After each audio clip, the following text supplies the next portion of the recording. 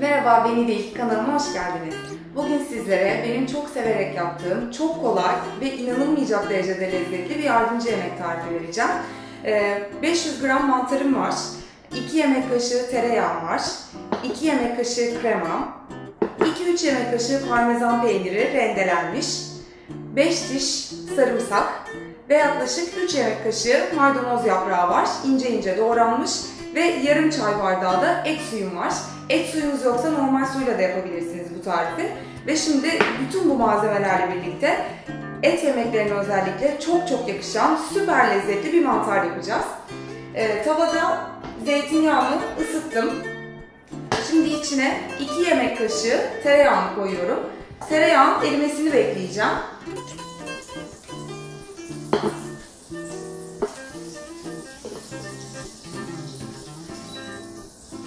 Derece ateş yeterli olacaktır çünkü yağın yanmasını istemiyorum. Sadece erimesini istiyorum. Daha sonra mantarlarımı içine atacağım ve yaklaşık 6-7 dakika pişmeye bırakacağım.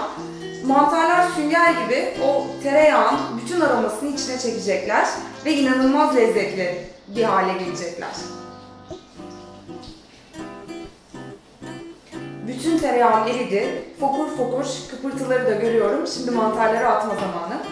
Man mantarlarımın çoğunu olduğu gibi bıraktım. Sadece çok büyükler varsa e, onları ortadan ikiye ayırdım. Çünkü zaten biliyorsunuz mantar pişince e, inanılmaz derecede küçülüyor. Çok ufak kalmalarını istemedim. Ondan ben bu şekilde yapmayı tercih ettim. Şimdi yaklaşık 6-7 dakika bekliyoruz. Mantarlarım biraz renk alacak. Ondan sonra geri kalan işlemleri yapacağım. Mantarlarım pişmeye devam ediyor. Bol bol tuz ekliyorum. Mantarların pişerken bütün o tuzun lezzetini içine çekmeleri için. Şöyle bir karıştırıyorum. Ve tabii ki biraz da karabiber.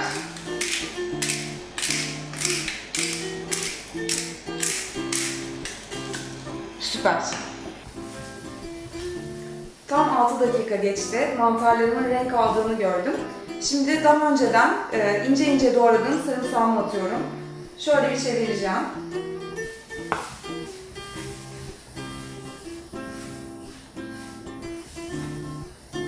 Bu şekilde bile servis edebilirsiniz. Muhteşem kokuyor. Ve bu haliyle de çok lezzetli. Şimdi et suyumu koyuyorum. Eğer elinizin altında et suyu yoksa tavuk suyu koyabilirsiniz, sebze suyu koyabilirsiniz. Hiçbiri yoksa normal su da koyabilirsiniz. Yine çok çok lezzetli olacaktır. Et suyum yaklaşık yarıya indi. Şimdi kremamı koyuyorum. Yaklaşık 2 yemek kaşığı krema var. Mantarların biraz soslu durmalarını istiyorum. Ondan dolayı biraz krema ekleyeceğim. Ve bu kremanın lezzetini de mantarların içine çekecektir. Ve çok çok daha lezzetli hale gelecekler.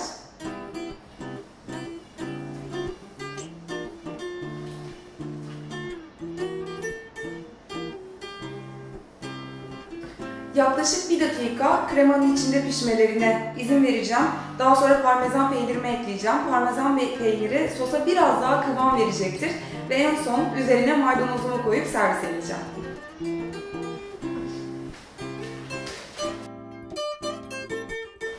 Mantarlar yaklaşık bir dakikadır kremayla da pişiyorlar.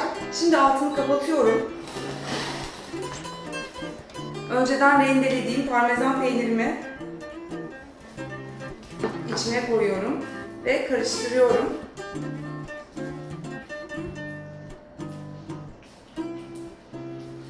Parmesan peyniri sosa biraz kıvam katacak. Hem mantarla hem kremayla çok güzel giden bir peynir. İyice eridiğine emin olmak lazım.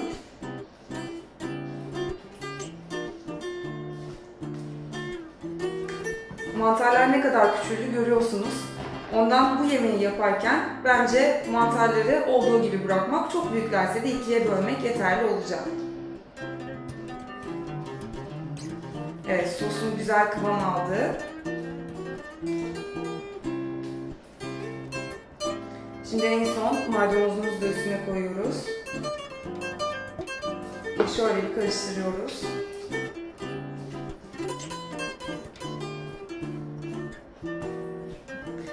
Ve parmesanlı mantarımız hazır.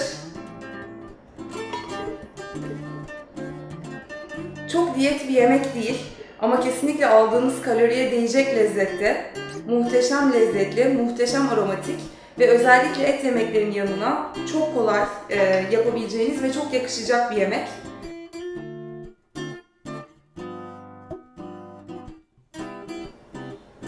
Umarım tarifim hoşunuza gitmiştir. Eğer gittiyse videomu beğenip kanalıma abone olursanız çok mutlu olurum.